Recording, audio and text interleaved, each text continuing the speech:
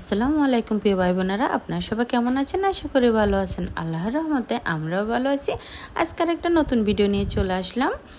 তো এই যে দেখতেছেন, আমি কোথায় আসছি অনেকে জেনে গেছেন, এখন বুঝে গেছেন আর কি তো এখন আমি আসলাম একটা রেস্টুরেন্টে তো একটু রেস্টুরেন্টে অনেক দিন পর আসলে খেতে আসা। তো আজকে এখানে লাঞ্চ করব, এই যে দাওয়াত এই রেস্টুরেন্টে তো সবাই সাথে থাকুন আর ভিডিওটা দেখতে থাকুন। আসলে মূলত আমার এখানে একটা বাইরে একটু একটা কাজে গেছিলাম আমার ছেলেদেরকে নিয়ে। তো এই কাজটা সারে আস্তে আস্তে মানে অনেকটা দুপুর হয়ে গেছিল। তো আসি যে রান্না বান্না করব আমি, আসলে ওই সময়টা ছিল না, আসি রান্না করব।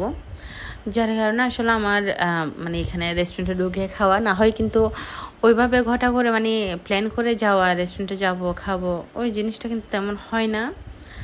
তো, আর আমার ছেলের মানে ছেলেরাও আছে এখানে। আর আরেকটা কথা সবাই দোয়া করবেন। সামনে আমার ছোটো ছেলের পরীক্ষা আছে, সবাই দোয়া করবেন, বার্ষিক পরীক্ষা আর কি। তো ও ও একটু অসুস্থ তো, তাই ওর জন্য দোয়া চাচ্ছি আর কি। এটা হচ্ছে আমার বড় ছেলে। এই যে দেখেন, এটা বড় ছেলে আর কি। আর অবশ্য ওর ফেস দেখাতে চায় না, ও লজ্জা পায়। আর ছোটো ছেলেও এরকম করে, বাসায় এমনি চটং পটং চটং পটং করে। কিন্তু ক্যামেরার সামনে আসতে গেলে অনেক ইয়া করে। যাই হোক, সবাই ভালো থাকবেন। আসসালামু আলাইকুম।